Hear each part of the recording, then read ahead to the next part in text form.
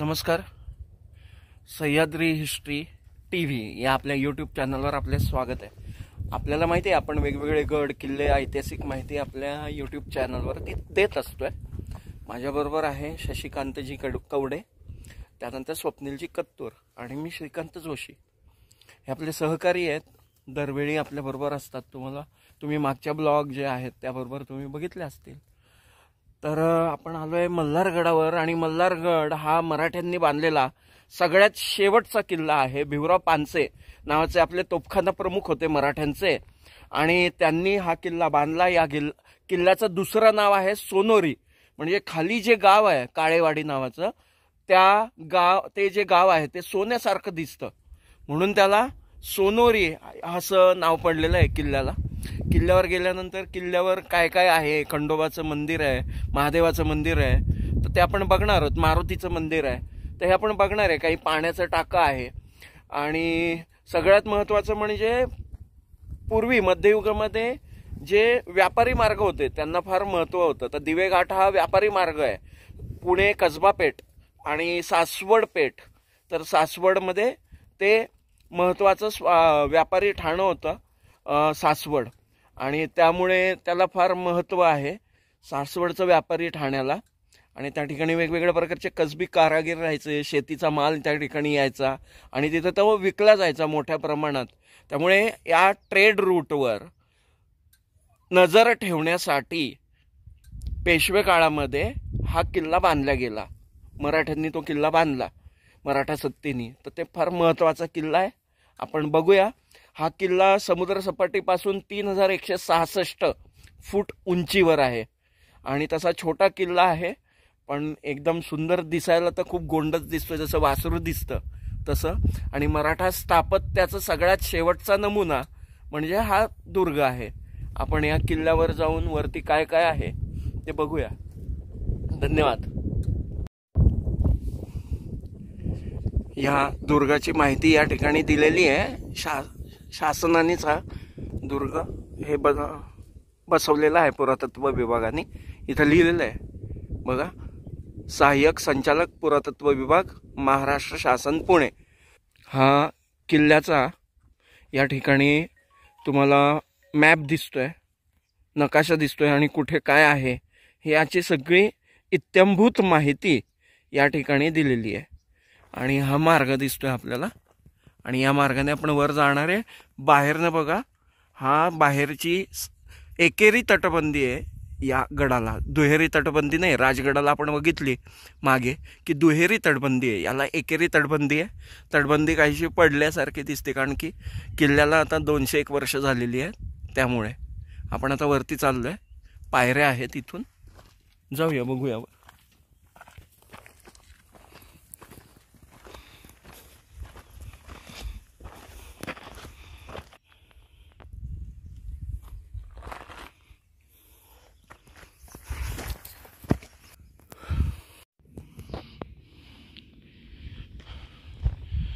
आपण मल्हार गरा गडाच्या चोर दरवाजाजवळ आहे. आणि आता आपण या दरवाजातून आत जाणार आहे. मग आपल्याला अथांग सह्याद्रीचा पसरलेला परिसर दिसतोय.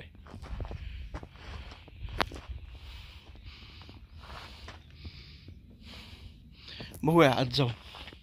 इथे मागे चोर दरवाजा आहे. त्यातून आपण आता आत येतोय.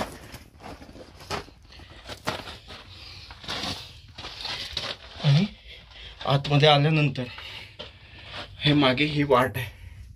आणि ह्या वाटेने पुढे चाललोय.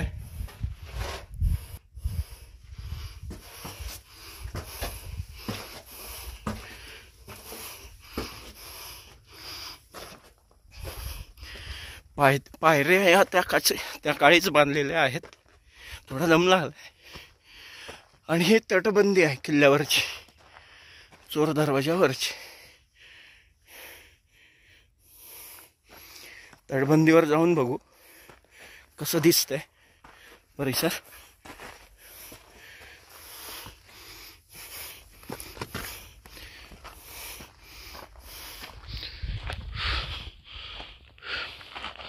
ह्यात तुटलेले दगड इथे असलेली माती चुना त्यानंतर अर्धवट तटबंदी. आपल्याला मराठ्यांच्या पराक्रमाची साक्ष देतात. आपल्याला आपल्या पूर्वजांनी केलेल्या महान पराक्रमाची आठवण करून देतात. आपल्या पूर्वजांनी संपूर्ण भारतावर अखिल भारतीय सत्ता निर्माण केली आणि ती अटके पार नेली. सगळे महाराष्ट्रातील मराठी बांधव एकत्र आले आणि हिंदू पादशाही निर्माण करण्यासाठी एका ध्येयाने लढले. स्वतःतील सर्व भेद विसरून एक झाले. महार मातंग ब्राह्मण धनगर मराठा सगळ्या प्रकारचे बारा बलुतेदार अलुतेदार या ठिकाणी असलेले सगळे मराठी जन या सगळ्यांनी मिळून मराठी साम्राज्य हिंदूंचं राज्य वाढावं. यासाठी एकोप्याने एकत्र आले. आणि त्याचं साक्ष म्हणजे आपण आलेला मल्हारगड. याला सोनोरी असं सुद्धा म्हणतात. या ठिकाणी एक विहीर दिसते आपल्याला. बघूया काय नक्की. मला विहिरीसारखंच दिसतंय बरं का. आणि नक्की काय आहे ते आपल्या लक्षात येईल. विहीरच आहे. आणि ती कोरडी पडली आहे आपल्याला दिसते बांधकाम आहे. आणि विहिरीसारखं सारखी रचना आहे. पाणी जमा करण्यासाठीच ही रचना असणार आहे तिकडे आपले सहकारी वाट बघतायत. बघूया इथे ध्वजस्तंभ बांधायला बांधला आहेत आत्ताच दिसतोय लावलेला. आणि ही तटबंदी आहे. तटबंदी जी आहे ती तुटलेली आहे. बघूया. आज आमच्या यूट्यूब चॅनलला एक नवीन किल्ला जो आहे तो ॲड झालेला आहे. मराठ्यांनी बांधलेला शेवटचा किल्ला प्राचीन व्यापारी मार्गाला संरक्षण देण्यासाठी हा अठराव्या शतकातील मराठा काळात बांधला गेला. आणि आपण सगळे एका दिलाने लढलो आणि मोगलशाही जी आहे ती नष्ट केली. हा किल्ला म्हणजे हिंदू ऐक्याचं प्रतीक आहे. सगळे जातीभेद विसरून आपण एक दिलाने अठराव्या शतकात एकत्र आलो आणि दिल्लीतील केंद्रीय सत्ता नेस्तानाभूत केली. त्याचं हे उत्तम उदाहरण आहे. छान जसं अहिल्यादेवी होळकरांनी घाट बांधले त्या पद्धतीनंच अठराव्या शतकातला जो घाट आहे हा दिसतोय. आणि आणि बघा खाली उतरताना मंदिराच्या बाजूला ज्या पद्धतीने घाट असतो त्या पद्धतीनेच हा घाट आहे. आपण त्या घाटावरून खाली उतरून बघणार आहे. बघूया.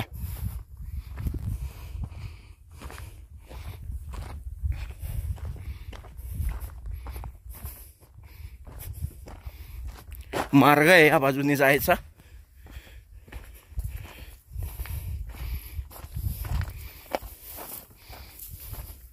इथून पायऱ्या आहे. आणि या पायऱ्याने खाली जाता येत.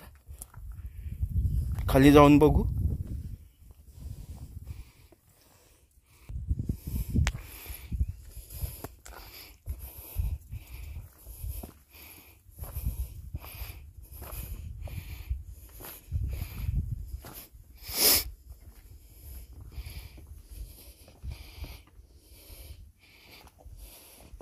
घाटात खाली उतरलं. एक छोटं पाण्याचं तळ आहे. आणि जसं गंगा नदी संगम नदी अशा ज्या ठिकाणी घाट बांधलेत आपल्या वेगवेगळ्या मराठा सत्ताधीशांनी सेम तसाच घाट या ठिकाणी आहे. सूर्यप्रकाश किरण पडलेत आणि ते चमकत आहेत छान. एक प्रमन एकदम भारी वाटतंय प्रफुल्लित झालंय. कुठल्याही गड किल्ल्यावर आलं ना की अंगावर शहारे येतात त्यांना आपल्या पूर्वजांचे पराक्रम आठवतात.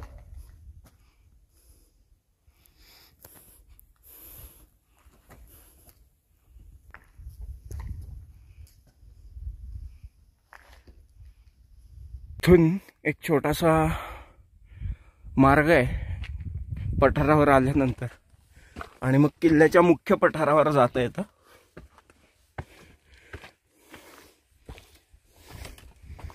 इकडे मंदिर आहेत.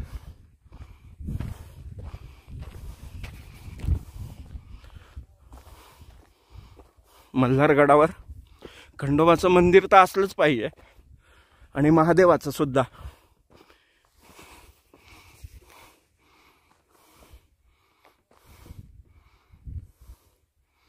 पठाराचा सगळा परत त्या खोत इथं तुम्हाला दिसतंय.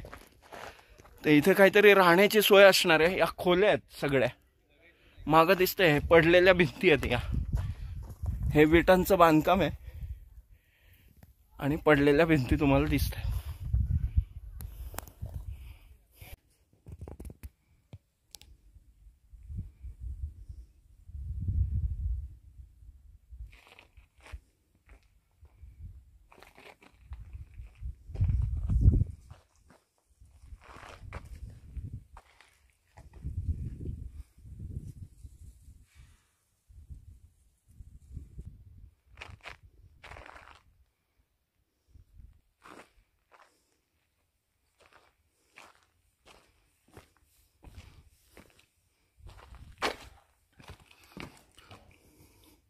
ओम नमः शिवाय। ओम नमः शिवाय।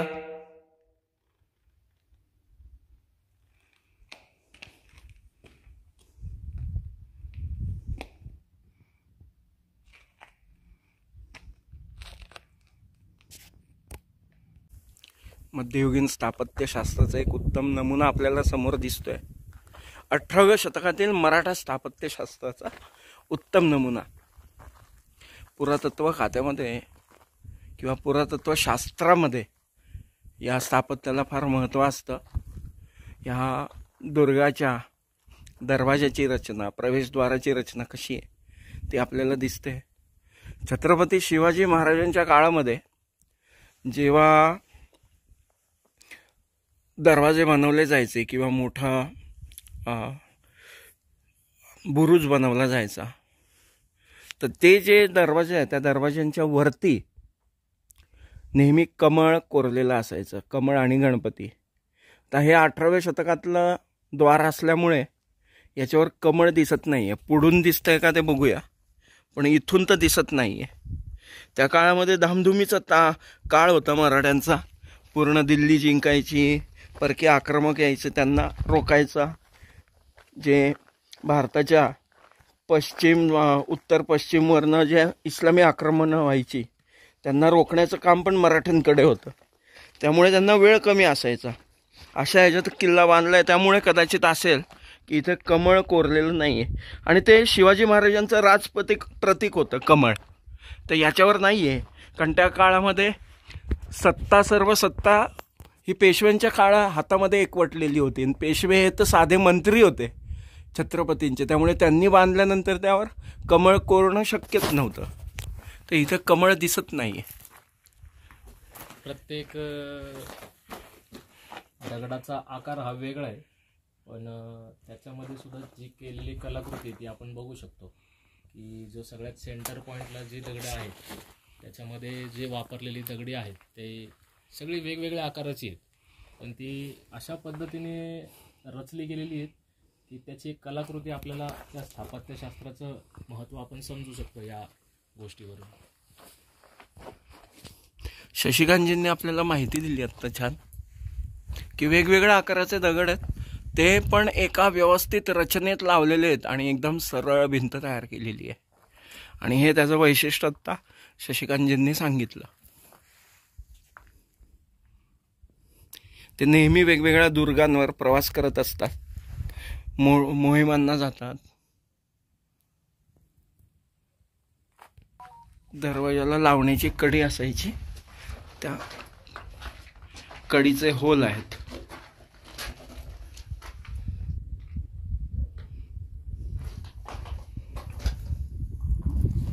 इथनं छान परिसर दिसतोय सगळा. जरा खाली उतरून दाखवतो. मगाशी तो चोर दरवाजाने हलवतो आणि हा जो दरवाजा आहे हा महादरवाजा आहे. आणि खाली जे गाव आहे ते सोनेरी गाव आहे. आपण काळेवाडी गावातून वर आलो.